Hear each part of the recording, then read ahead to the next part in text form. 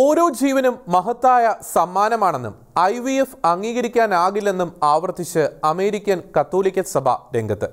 അമ്മയുടെ ഉദരത്തിൽ ഉരുവാകുന്ന നിമിഷം മുതൽ ഓരോ വ്യക്തിയുടെ ജീവനും അതുല്യമായ സമ്മാനമാണെന്നും അതിനാലാണ് ഐ വി എഫ് പോലെയുള്ള കൃത്രിമ ഗർഭധാരണ മാർഗങ്ങൾ ഉൾപ്പെടെയുള്ളവയെ കത്തോലിക്ക സഭ എതിർക്കുന്നതെന്നും അമേരിക്കൻ മെത്രാൻ സമിതിയുടെ പ്രോലൈഫ് കമ്മിറ്റി വ്യക്തമാക്കി.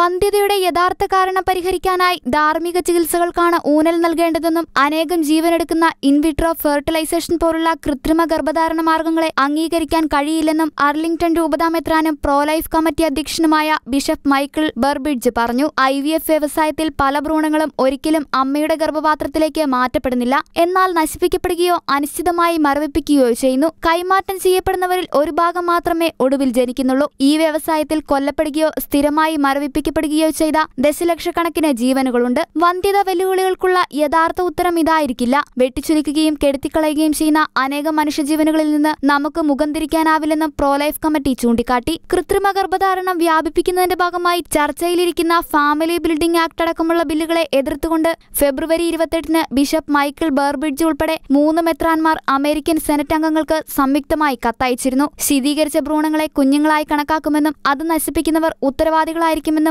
അമേരിക്കയിലെ അലബാമ കോടതി വിധിയുടെ പശ്ചാത്തലത്തിൽ അലബാമയിലെ ഏറ്റവും വലിയ ആശുപത്രിയായ യൂണിവേഴ്സിറ്റി ഹോസ്പിറ്റലിൽ ഇൻവിട്രോ ഫെർട്ടിലൈസേഷൻ ചികിത്സ നിർത്തലാക്കിയിരുന്നു. പിന്നാലെ മറ്റ് ക്ലിനിക്കുകളും ഐ നിർത്തിവെച്ചു. ഇന്റർനാഷണൽ ഡെസ്ക് ഷെഗേന ന്യൂസ്.